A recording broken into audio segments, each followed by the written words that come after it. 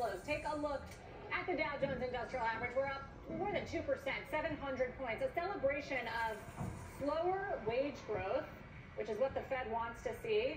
Weaker services, the first contraction we've seen post-COVID. Sounds like bad news for the economy, but it's good news for the market because it means